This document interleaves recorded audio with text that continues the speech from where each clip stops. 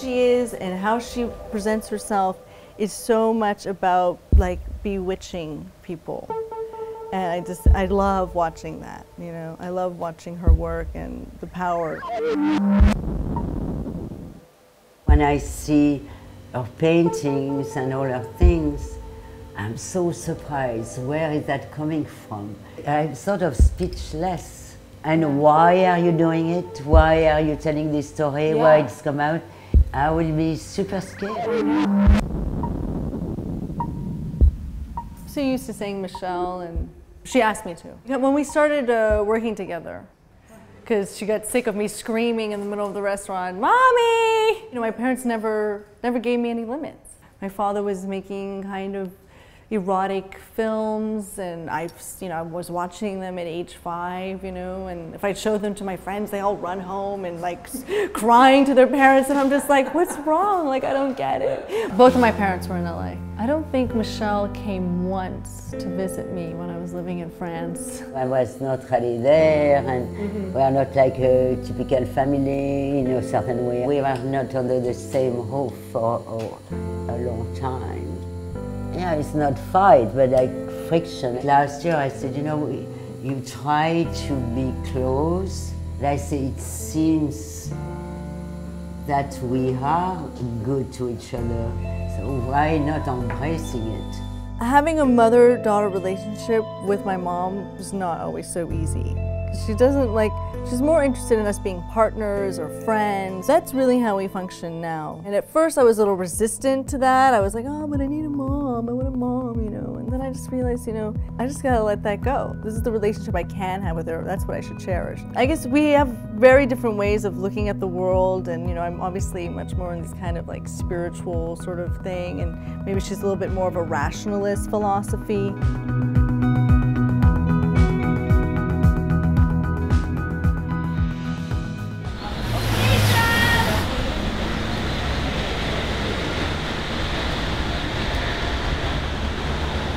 I went all over the world. I changed life. I started this. I did something else with instinct.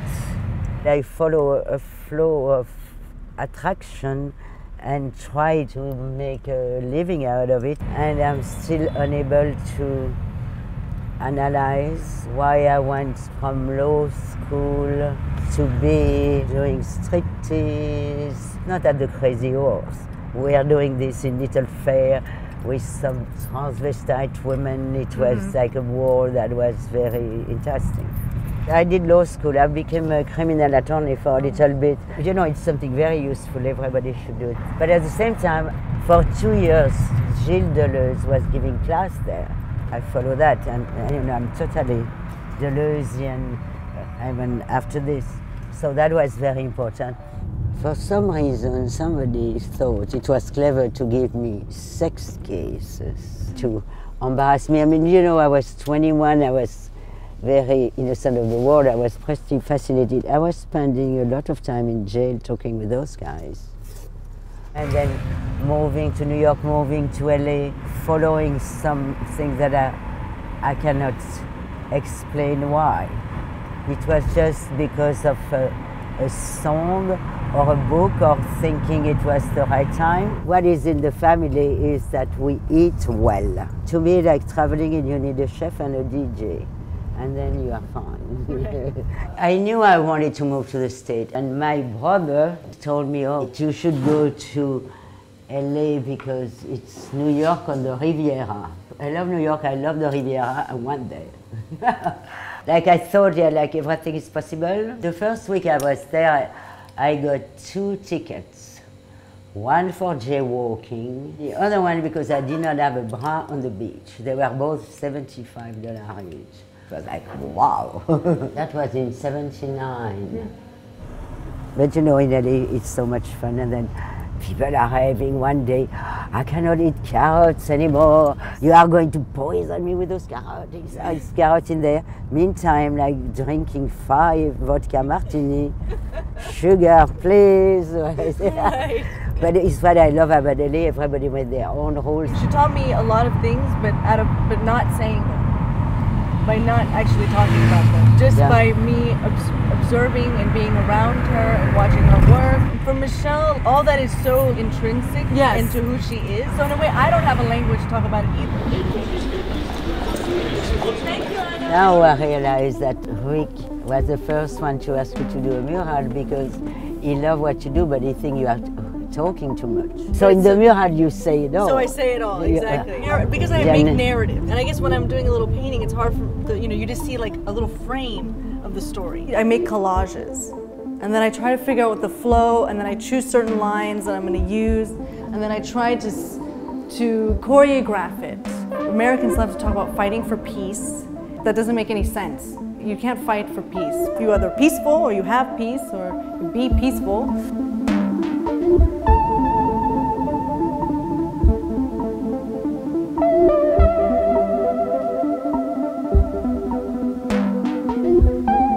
mean, about Michele Starr, I think I just love the this amazing, like eccentric witch, like aura she gives off. You know, she's changed a lot. But before it was, you know, sort of baggy and colorful, and then when so she got with Rick, and then she started, he started making clothes. It all of a sudden got this much more sort of elegant, sort of gauze, sort of rough around the edges, you know. And I guess it sort of you know adopted that too. Except for now, I'm actually more into color, so I'm you know the, I'm like the only one who orders like Rick's stuff in colo- color. The tattoo on my fingers, they are a version of what could be some Berber artwork. So I always look at it. I would never have a tattoo like somewhere I cannot look at. It's a combination of a lot of uh, rings from France. the main thing is they have to go with the tattoo. I'm always wearing them. There is some days the combination is right, some days the working process. I'm doing this with a crayon, but I, I'm getting up and it's the first thing I do. My head does not function without this kind You know, she always used to say, you know, even you know during the day you have to be dressed like you're going to a cocktail party. It's hard for me to always be dressed up. It's not necessarily so much about people looking at me, but about the work that I'm making. I don't I don't want to ruin this dress. I don't want to paint in it. I'm playing with my teeth. What inspired the gold? It's always something practical, you know. The time when all of a sudden it was like, my God, what did we put in our feelings? Uh, we have to change it. And I had found in LA some kind of new age dentist that was all about taking the filling and putting gold. He put little diamonds in it to bring the light to you or whatever. So I did this thing for the feelings. And then I say, shit, I guess, man, all this money and all these good vibes in those teeth there we don't see. So I was in the gold, I wanted more gold. So I start, I starting in the front with one. Then I say I smoke a lot, so then they are always gold. I'm not going to have those white. No, Snoop Dogg is my idol. I don't know, in all those years, I think it's just always right, style-wise, and I like his attitude. It's part of the life and uh, doing it uh, the right way.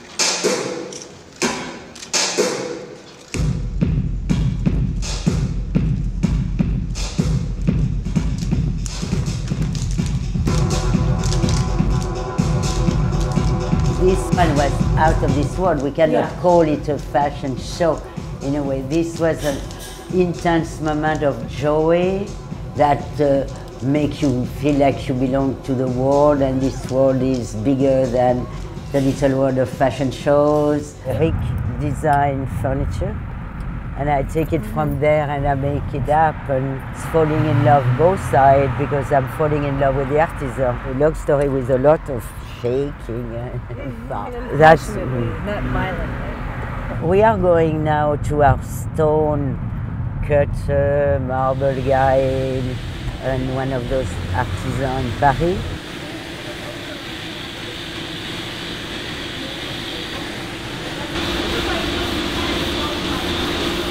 We are doing a bench. That is one head of the bench. Oh. That is the second head of the bench. Oh my God, it's so beautiful. And yeah. then there is the plaque that is not finished. So that goes really inside. So it's black marble. With Rick, we only work with black and white marble with no vein. But of course, they are the most difficult to find, super complicated to make. And it looks like you found it in the ground. Rick had a, an amazing eye. For the furniture, he gave me like little drawings like this. And after I have to go, so it's something where I feel very creative also, it's working with people, finding material. I love the process of stuff. This is my life. That's a, The things that I love.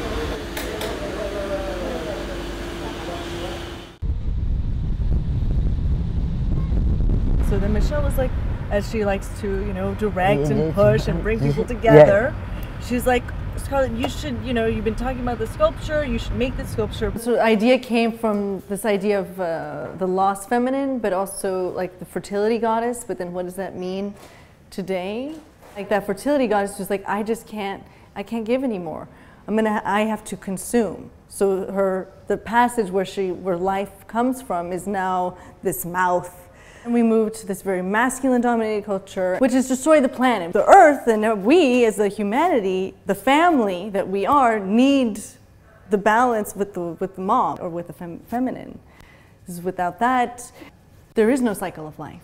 We forgot that we are part of an organism and that we have to respect that.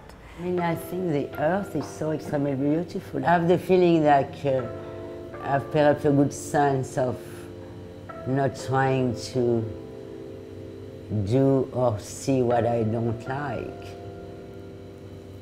I like to see there is like nothing here, what can we do? You know, it's like when mm-hmm. I did Les Deux Cafés, that was a parking lot. So for me, that's the joy. There is a parking mm-hmm. lot. You ask people, can I do something on it? And then what do we do? We do a garden, and the garden is coming. Oh, Michele is, you know, she's very strong and she's very positive person. And whenever I get a little emotional, she's always, she's like, no, you shouldn't, you shouldn't feel that way. You're being silly. You know, this is the solution. Just do that, you know, and very businesslike about uh, feelings. It's not that she's not feeling them, she has them. She's not gonna let her mind focus on them. Maybe I'm more like an emotional warrior, where I'm like, well, I'm gonna walk right into this pain right now, and I'm gonna feel it. It's scary what she does in a way. It's something that you need to be strong or totally Oh in God. conscience and having like the freedom to to say, oh, I'm just doing this because I have fun doing it, but at the same time you have to make a living or staying like you have to justify yourself. That's the reason why Michele is not fully an artist. She doesn't want to go and sit in her pain. And she doesn't want to suffer. And she doesn't want to be vulnerable. It's something that does not come to my head to say, oh, I should have been doing this. So I always think there is was a reason and it's nice. Yeah, I have a good nature. I always find something beautiful. She doesn't reinvent herself, but you know, she's done so many different things. She didn't let anything get her down or stop her from just moving on with life. To me, that's really inspiring. She has such a powerful vision. Actually, I, di- I did take a bit of it because when I started making art again, every time I was getting rejections. So it was some days I wasn't feeling so good. And I was like, but I kept getting up and showing up and just keep doing it. She's, and she's great to have around because she'll come in, you know, when I was doing the mural, and she's like, you know, maybe you need a little bit of this in there, you know. And I'm like, you know, you're right. After all those years of life, I think this is uh, seeing something that's so Mesmerizing. with people and thinking and and for some reason and some of them I feel they need me to push it. This friend of ours wrote about it. She says, you know, Michele sparkles, but then Scarlett shines.